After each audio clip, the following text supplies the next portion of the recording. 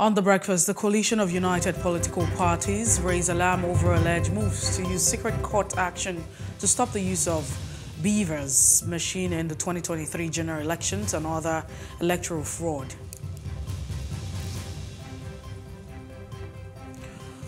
Also on the breakfast, officials of the Nigerian Police Force seals the office of League Management Company in Maitama, Abuja. And don't forget, we'll also be looking through today's newspapers and analyzing the biggest stories of the day. Welcome to The Breakfast and Plus TV Africa. It's time where we go through the top trending conversations generating, I mean, different reactions in different spaces. I am Mercy Bopo. We start the conversation with a top trending on The Breakfast and Plus TV Africa. Kofi joins as well, uh, but as always, the top for us this morning is that the court has ordered INEC to accept Akpabio as a senatorial candidate. It's a lot of drama right there with the APC, especially in Akwa Ibom State. Well, uh, the Federal High Court in Abuja has ordered the Independent National Electoral Commission, INEC, uh, to accept and publish Godswill Akpabio's name as the candidate of the All Progressive uh, Congress APC candidate for Akwa Ibom Northwest District for the 2023 elections. That's a judgment that was given by Emeka Nwite uh, on Thursday in Abuja. Now, all of this is that Akpabio, remember that Akpabio had contested the elections, I mean the primaries, the APC primaries, but of course he stepped down for Bola Ahmed Tinubu, uh, the presidential flag bearer. And however, it was also been reported that he he also, you know, was part of the senatorial elections as a candidate. But the judgment and the judge had said that um, INEC acted illegally by refusing to act and accept and publish Akpabio's name when it was submitted to it by the APC as its candidate. And according to that judgment, that INEC is bound by the provision of Section 29, subsection 3 of the Electoral Act to publish only the personal particulars of a candidate of the first plaintiff for the Akwa Ibom Northwest Senatorial District elections in person of the second plaintiff, that's Akpabio, and has received, as was received from the first plaintiff. And so the, uh, it was held that the electoral umpire cannot publish any other name or particulars of any other candidate as the candidate of the APC for Akwa Ibom Northwest Senatorial District election, except as nominated and submitted and received from the plaintiff. However, INEC was also faulted that it is not, because it was said that Akpabio contested an election. And they're saying, INEC is saying, we did not monitor that election. And, you know, the judgment is saying that it is not going to be, you know, the candidate's fault, Akpabio's fault, that INEC, who saddled with the responsibility of monitoring an election, uh, you know, not living up to our expectation. However, there were, you know, factions. That's what it is. But, you know, it's quite worrisome I mean, how, how do you even explain all of this? That there was an election that was conducted, INEC was not there because INEC didn't think that, you know, was there really an election, really? Who can actually attest to it? And if there was an election, why did INEC not monitor that? But you also had another election where INEC monitored and it was sent. And so you know, so it's, it's a lot of back and forth. Let's not also forget that it is also expected that there's a second, you know, place card holder and what have you, all of this uh, in the conversation, all of this mix in the conversation. But there's a lot that's going on. It is a judgment or, you know, a declaration from the Federal High Court. So it therefore means that uh, that's not the final. It can also be appealed. I mean, that judgment can be appealed until it gets, you know, to the Supreme Court. But let's see what happens with the interests that are involved. Uh, but, but Kofi, what do you make of this stance? Godswill Akpabio, you're uncommon man with uncommon things because this feels like it's an uncommon judgment um, and declaration. I, I think it's, uh, it's, it's, it's quite a, an interesting test of the resolve of uh, the electoral umpire and an interesting test of the resolve of the um, judiciary to do the right thing. Um, I know it's, it's, it's very possible to rush to conclusion uh, to uh, judge the judge in this matter. I like that. But I think people should also take time to look at the wordings and the letter of the, uh, the judgment. Uh, you know, it's, it's, it's very important. Um, but we go back to what INEC had said all along I mean, the very enigmatic uh, um, lawyer, uh, Mike Igini, has been the resident electoral commissioner in INEC, eh, of INEC in Akwa Ibom State for some time. And Mike Igini has been retired. There was uh, some, some reaction, sort of hula baloo, um, to the retirement of Mike Igini. He came out to say, see, it is statutory. Having served the statutory amount of time I can't serve as rec, I have to leave. Um, some thought it was probably not unconnected with Akpabio's, uh, um, Akpabio's um, travails as uh, a candidate in Akwa Ibom State. Uh, but Mike Igini was one of the, um, the people who, or the recs, who have stood, uh, resident electoral commissioners who have stood their ground um, to not be moved by, by powerful politicians. I mean, the same can be said to be happening in, this is a, um, uh, this is um, Akwa Northwest Senatorial District. The same can be said to be happening for Yobe North Senatorial District, where uh, Senate uh, President Ahmed Lawan is um, um, en engulfed in a, in a battle for the APC central ticket with a man who is said to have been a placeholder, Machina. You know what these politicians do. Just go there and be there for us. If we cannot um, get the presidential ticket, we'll come and then you, you step aside and then uh, we, we, we move. Now, the Electoral Act is quite clear on how political parties can replace their candidates. It's very clear.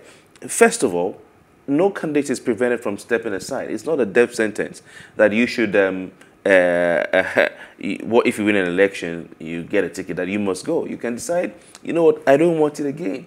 I, I want to go home, I want to go to my farm, or something, you know. And what happens is that the, the candidate has to inform the party in writing.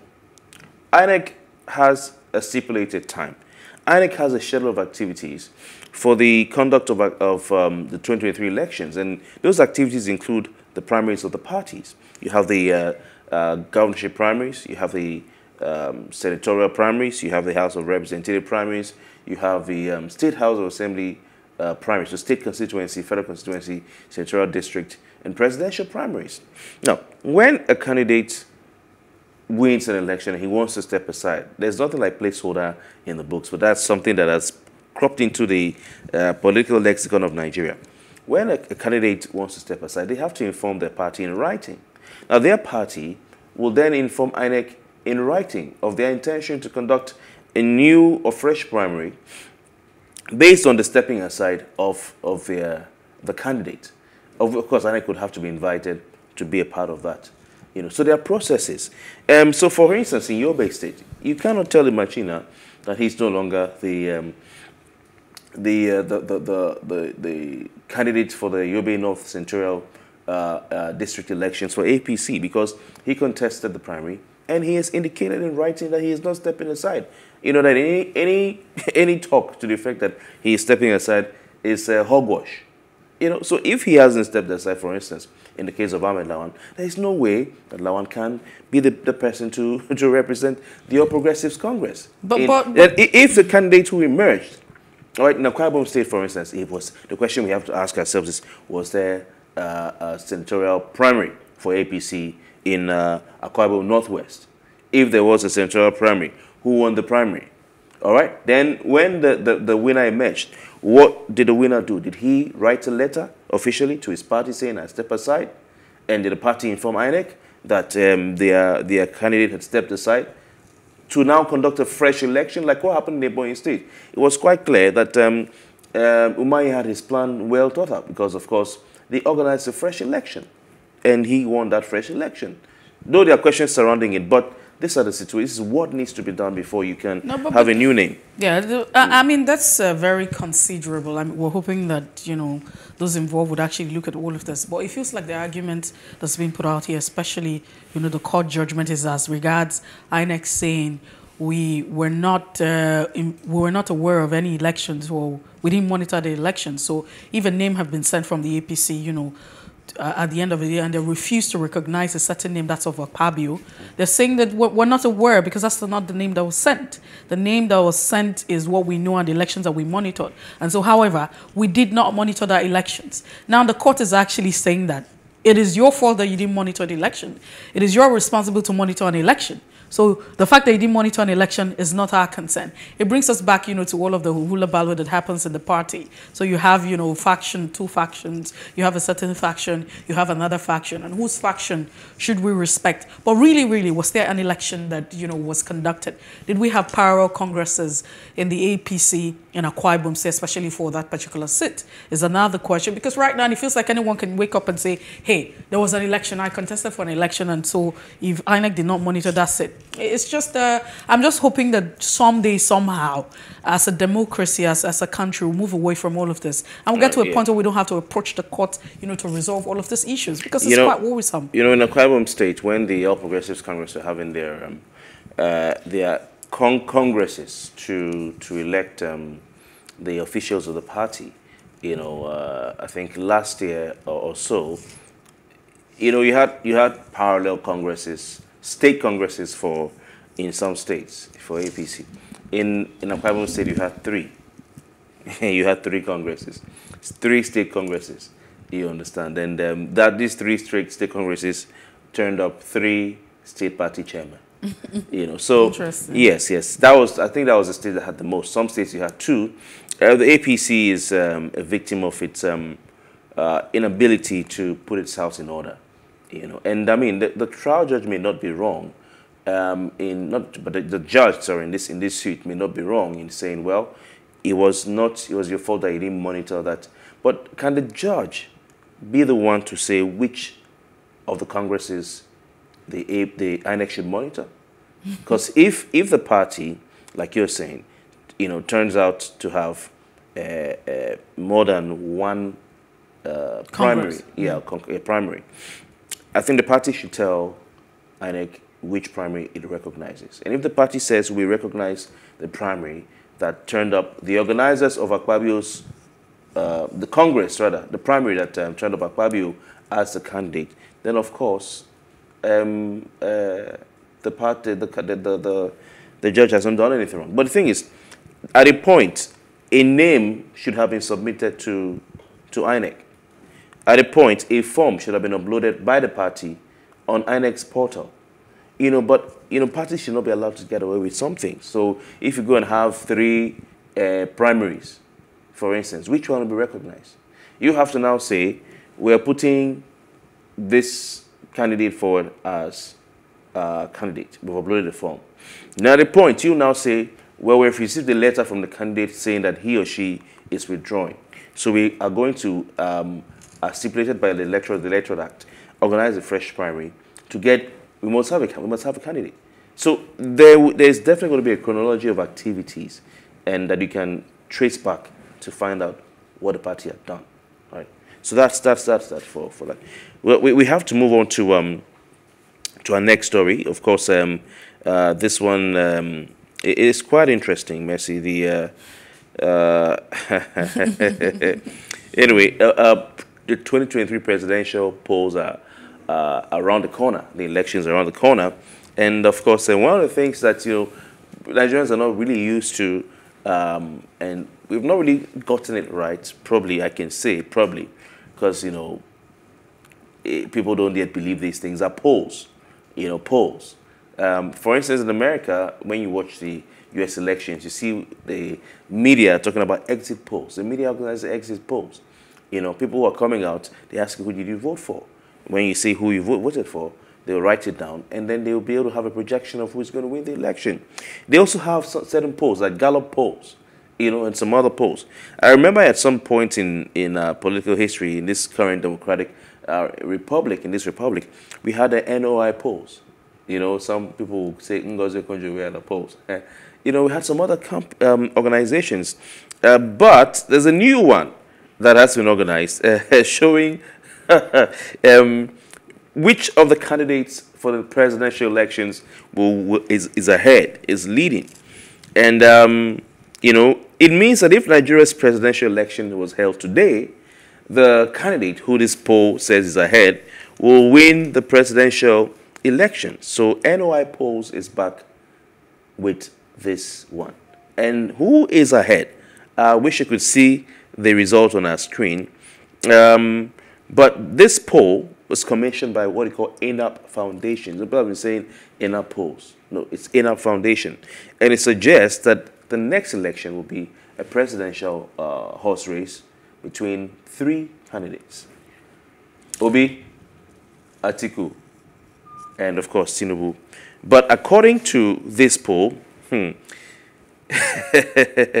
um, the researchers had not made public the methodology of the poll and how uh, the data was sampled, but they say that Mr. Obi will win the election today if itself. He garnered a total of no, 21, 21% uh, of voters um, ahead of Asiwaju Bola Tinubu, who gathered 13%, and Atiku Abubakar, who also gathered 13%. Now, Rabiu Musa Kwankwaso was a distant fourth with 3% of voters, placing him uh, an, an, outsider in the fourth position. So you have Obi, 21%, um, Bola Tinubu, 13%, Atiku Abubakar, 13%, and Rabi Musa Kwankwaso, 4%. So what they are saying, ANAP Foundation is saying, because they published the polls, is that if the election were to be held today, Peter Obi will be Nigeria's president. No, no, but uh, I, I, I think see a smile on your face, Mercy. Not, not necessarily, because uh, you know, going through the particular statement, they said that he was leading at the time, mm. because there are other very, I mean, there are other factors.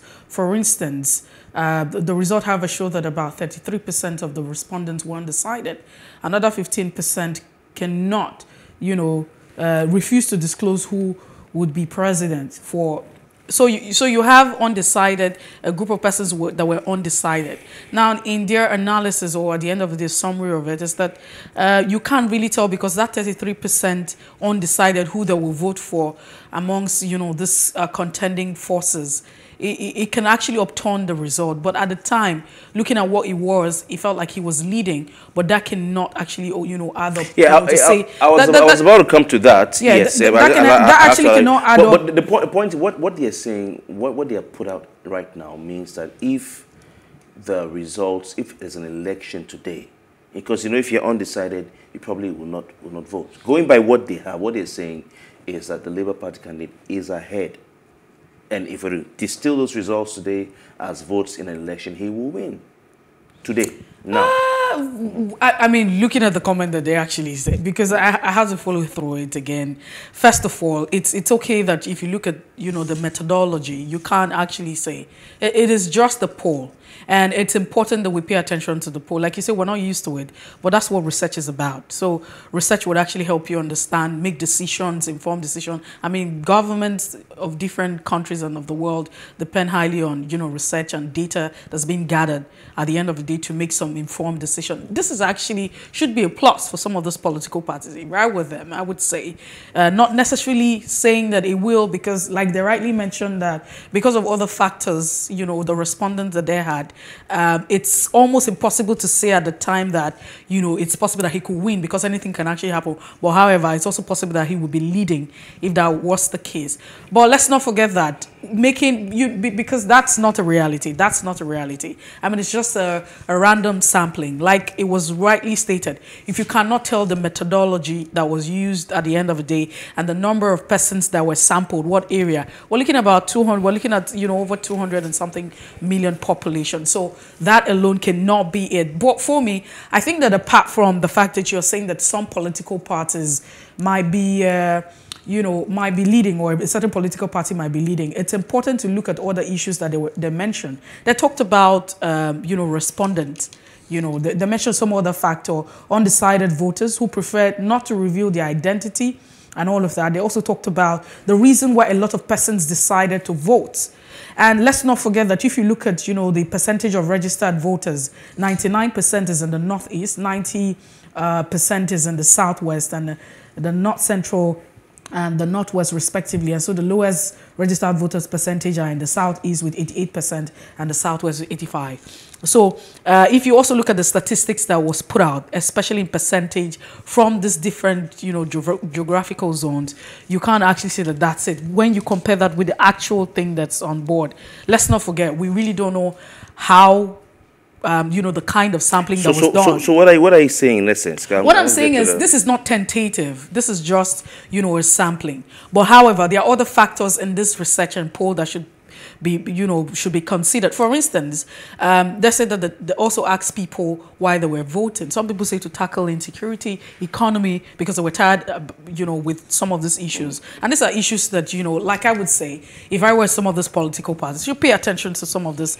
issues and, you know, see yeah, how yeah, they can improve I, I, I, yeah, I, I think the issues are, are don't, we don't need a poll to, to to Maybe tell. sometimes yeah, you need no, a poll no, because no, if, yes, you look at the behavior. So, sorry, Mercy. I, I, think we don't need a poll to to know what issues are of importance to the country. People know these issues, and the, you know the, the candidates are already talking about these issues, and Nigerians will really decide, yes, yes, Nigerians will decide, um, you know, who to vote for at the end of the day, with or without a poll. We all know the insecurity is a problem. We know the economy is an issue. You know, we have jobs, you know, education, we know healthcare. These are issues that, you know, when, he, when you walk on the street, you know. You know, you have to be alive if you're alive in this country. But the, the point is that, um, you know, the, if you talk about methodology, we don't know. Um, they haven't made it public. We don't know if they will make it public. And, and when we look at, um, uh, uh, you know, the, the, the polls that have been organized around the world, I will mention Gallup to be precise, you know, to, to, to particular. Um, you know, you can, you, you can only question to an extent, and, but you have to either accept or reject the, the results of the poll. And that's what the political parties do. You know, if they publish their, their methodology, would that affect how people accept it? You understand? Would that affect how people reject it? I think that um, those who will accept it will accept it, and those who reject it will reject it. What, what, what I would like to see will be more of these credible organizations, because NOI polls have they've been there for some time. Uh, more of these credible organizations coming out to conduct polls as well to tell us, and then we can see if there is a pattern developing. Um, will, will you ever get it right? You know, will you ever get it right is another question to be asked. You know, um, in in research, he talked about you know sample size, for instance. So sample size is is, is critical in in determining uh, whether you know your your your methodology is correct. You know, what is the makeup of your sample? Um, do we have agencies that scrutinize or organizations that scrutinize these? No. You know, so I don't know where they're going to go take their their their work to and say this was our methodology. Please scrutinize it to tell well, us. Could, could yeah, so, sorry, Mercy, to tell us if if it, it's correct or not. Um, I don't know. I think that no, that that that would be difficult. We have actually talked about that. Mm, I, you know, so so, so the point the point I'm making is that um, we can only comment on, on, on what they brought out and, and, and people will react to it. I expect the political parties to come out and, you know, either accept or reject it. Um, uh, I don't know if APC has made an official statement about our, our first uh, major conversation tonight, this morning, but they, they should come out and tell us what they think about it. Um, and then some have said, you know what, people are saying the Labour Party. No, no, no. So I, yeah. I think, that, I think that this report, that, yeah, Kofi, yeah, I think that this report is actually very, uh, to some extent, they, they, haven't really, this report has not really said, or this poll or survey has not said that there will be the winner. They just say at the time, looking at it, he will be leading. That's what it is. No, no. My, my, I mean, looking at, looking I'm, at all I'm of the, it, I'm, I'm the one because they looked at, they looked at other issues as well. I didn't say mm. Foundation said he will win. I'm saying that for me, my understanding of this is that if election were to be conducted today. And I'm not saying that the result of the poll is, is credible or is correct. I'm saying that their findings, their results, my interpretation is that if an election were conduct, conducted today, all right, Obi will be leading.